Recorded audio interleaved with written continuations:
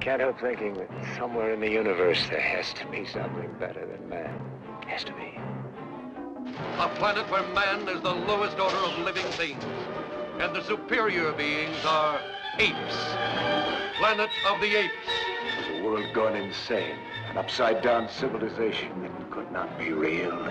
Yes, a world of madness and terror. Man has no understanding. He can be taught a few simple tricks, nothing more. You did it. You cut up his brain, you bloody baboon! It's a man!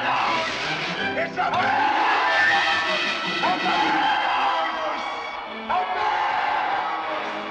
Now the tribunal has placed you in my custody for final disposition.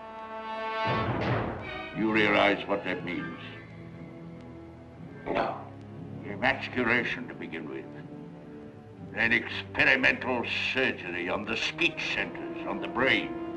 Eventually a kind of living death. Planet of the apes. Beyond your wildest dreams.